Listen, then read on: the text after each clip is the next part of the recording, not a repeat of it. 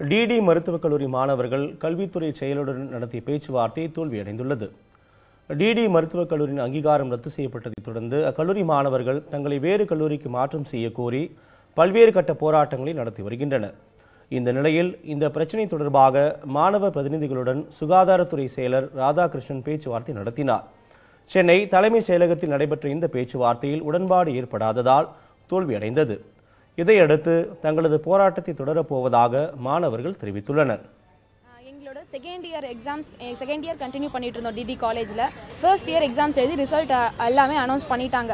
இது பண்ணிட்ட பிறகு செகண்ட் இயர் எக்ஸாம் எழுதிட்டு இருக்கும்போது எங்களுக்கான first year supplementary students exam arrear exam எழுதும் போது தான் தெரியுது. எங்களுக்கான காலேஜில் எல்லாமே ஃபோர்ஜரி நடந்திருக்கு. இல்லீகலாக எல்லாமே பண்ணியிருக்காங்கன்னு தெரியுது. அப்போ தான் தெரிய வருது. ஸோ வி நாங்கள் ஸ்ட்ரைக்குக்கு வந்தோம். ஸ்ட்ரைக்குக்கு வந்துட்ட பிறகு எங்களை கூப்பிட்டு ஆலோசனை கூட்டம் இங்கே பேச்சுவார்த்தை நடத்திருக்காங்க. இப்போது சொன்னது என்னன்னா எங்களுக்கு வேறு ஏதாவது படிக்க உங்களுக்கு விருப்பம் இருக்கா? அப்படின்னு கேட்டிருக்காங்க. அல்டர்னேட்டிவ் ஸ்டடி படிக்கிறீங்க படிக்கிறீங்களா? எம்எஸ்சி ஜுவாலஜி இந்த மாதிரி அல்டர்னேட்டிவ் ஸ்டடி படிக்கிறீங்களான்னு கேட்குறாங்க நாங்கள் படிக்கிறது இருந்தால் அந்த மாதிரி கோர்ஸ் படிக்கிறது இருந்தால் ஃபர்ஸ்ட் இயர்லேயே நாங்கள் அந்த மாதிரி எய்மில் போய் சேர்ந்துருப்போம். பட் நாங்கள் ஒரு நடுத்தர குடும்பத்துலேருந்து மருத்துவ சேவை பண் பண்ணுறது பண்ணுற பண்ணுறதுக்காக தான் மெடிக்கல் ஜாயின் பண்ணியிருக்கோம் மேனேஜ்மெண்ட்டில் ஸோ இப்போது எங்களுக்கு மெடிக்கல் ஸ்டடீஸ் தான் கண்டினியூ ஆகணும். எங்கள் ஸ்டடீஸ்க்கு கண்டிப்பாக எம்சிஐக்கு மூலியமாக பரிந்துரை செய்கிறேன்னு அமைச்சர்கள் சொல்லியிருக்காங்க.